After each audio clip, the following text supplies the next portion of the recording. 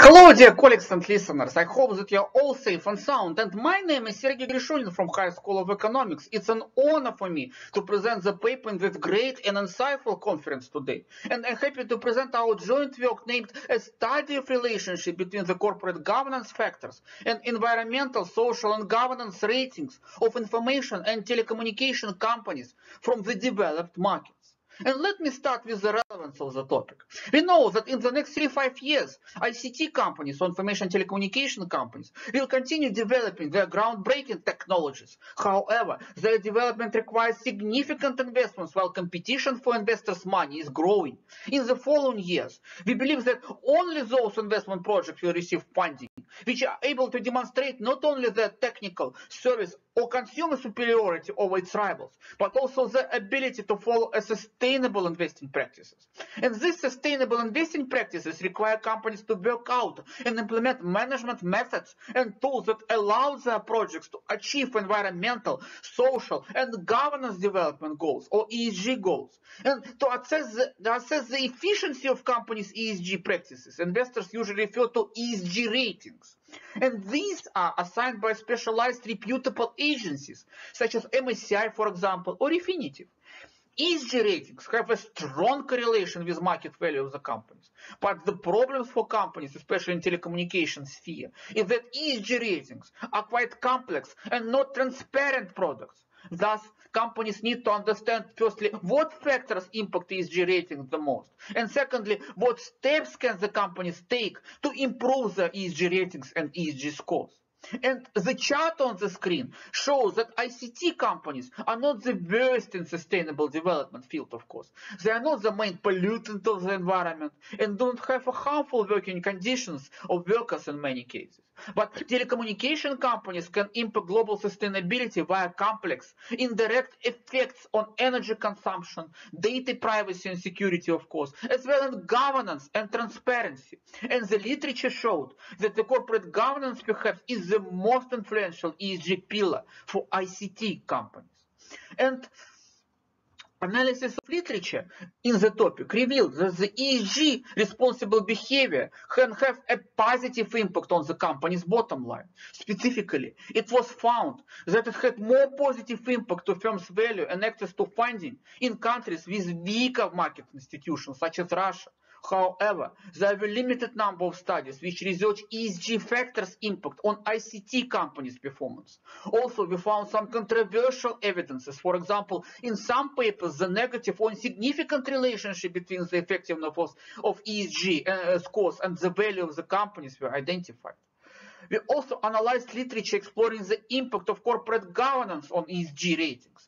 Firstly, we pointed out that the ESG rating methodologies of agencies are largely undisclosed publicly and had a significant expert component. And analysis of the methodologies of many ESG rating agencies demonstrated the differences in approaches among agencies, which increased the complexity of the study. But the majority of studies showed that firms with the boards of directors consisting of independent directors, women directors, and directors possessing financial expertise can achieve superior ESG ratings. Additionally, the existence of efficient corporate responsibility arms, such as CSR committees, increase the ESG ratings. However, analysis of studies revealed gaps in the literature. There were no studies of impact of corporate governance practices on ESG rating specifically for companies from info communication industry. There were limited number of studies exploring the impact of corporate governance factors on ESG ratings. There were controversial results of impact of some corporate governance factors on ESG scores. So the goals of the study is to identify and analyze key determinants of governance pillars or of ESG ratings assigned to ICT companies in the developed market. And actually we tested the following hypotheses. So hypothesis number one, an effective composition of directors has a positive effect on the company's position in the ESG ratings. And this hypothesis will check the literature conclusion that an effective composition of the board of directors leads to improved environmental performance. The hypothesis number two, the number of women in the board of the directors increase the company's position in the ESG rating. And the several studies showed that the companies with women in management had better ESG scores than firms with no gender differences among senior executives. And the hypothesis number three is that diversification of age groups in the composition of directors leads to higher positions in the ESG ratings. And the study indicated that the more age groups are included in the management and the board, the better the interaction of employees with each other, as well as the better the rela relationship with stakeholders, which should increase ESG ratings. And to confirm this hypothesis, we analyzed 80 info communication and technology firms from developed markets. Time horizon for data sampling is 15 years, since 2005 to 2019.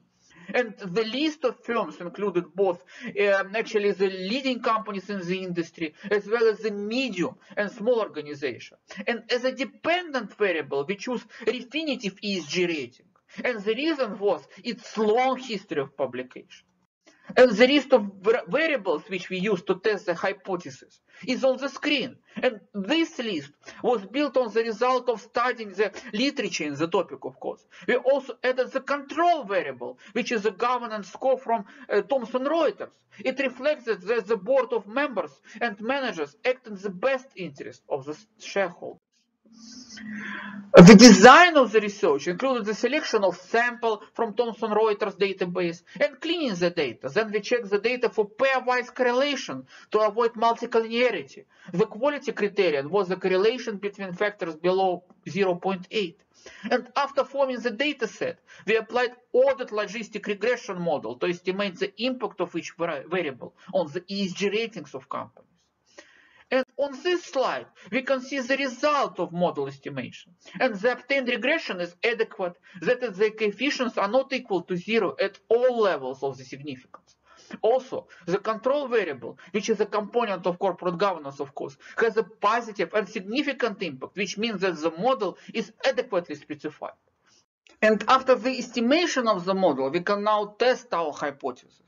And hypothesis number one, as we see, is confirmed because efficient corporate governance practices such as existence of CSR committee, presence of non-executive members in the board, uh, policy independence and chairman past experience and continuity have a positive and significant effect on ESG ratings of ICT companies. Existence of efficient CSR committee had the most significant impact on ESG rating, followed by the chairman as the ex-CEO and policy independence variables. And the impact of presence of non-executive members in the board had marginal effect on ESG ratings. And these results coincide with those obtained earlier in the literature with which we considered that the board independence did not enhance ESG scores.